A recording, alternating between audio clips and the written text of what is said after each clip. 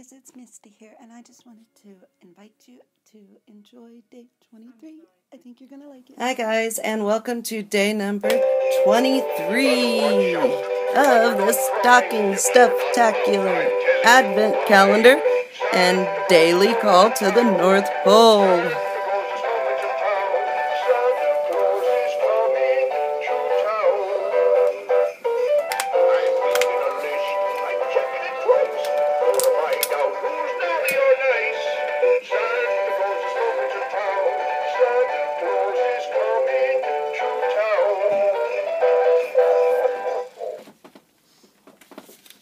All right, that was our flying Santa Claus and the Advent calendar.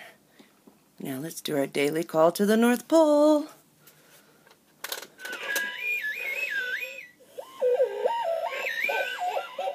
want to know who's there.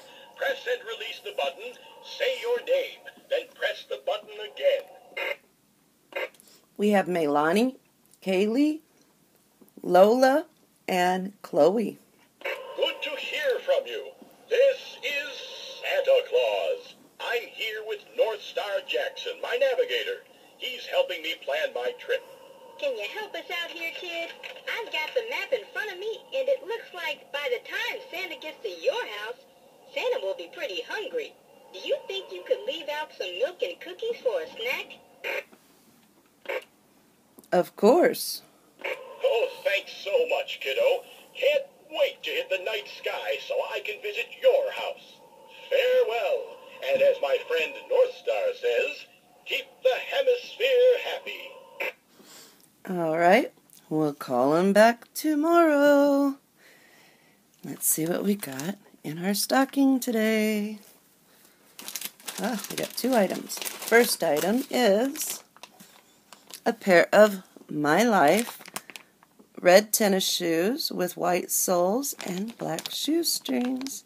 I think those will look real cute with some of the outfits we have.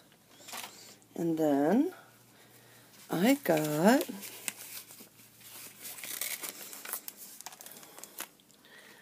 Star Wars cards. Yay! Journey to Star Wars The Force Awakens trading cards. These are by Topps.